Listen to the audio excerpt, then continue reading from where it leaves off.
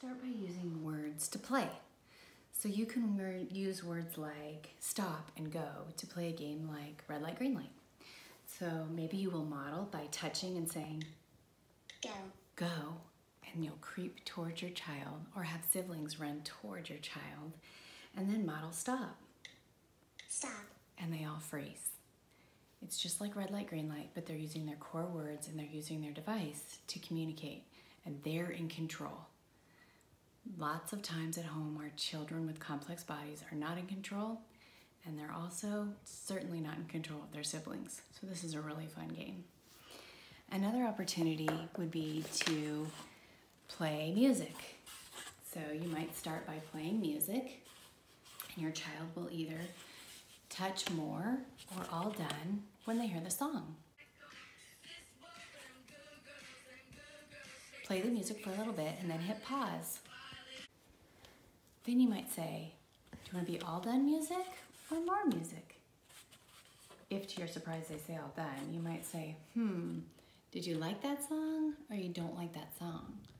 Maybe they just tell you they don't like the song and you say, oh, okay, you're all done with that song. Let's do more music in a different way. See how you can use some of this basic vocabulary to play music, pick your jams, and have fun with your child. You can also play with blocks or other toys or even cups. I want to play. Never mind that this just says Legos. Legos. Because it gets you to the vocabulary to build it up, build them, knock it down, knock it down, and do it again. Do it again. Build them up, build them. Then you just keep building.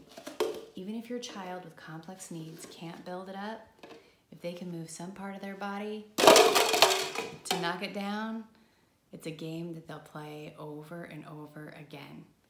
Let's experience language through play. If you need a more structured way to play, there are lots of different calendars and core words of the week out there. One of the things we're going to include in the comment section under this video is a calendar. There's, this is a calendar that says that the core word of the week is take, and every day a different way to use that word.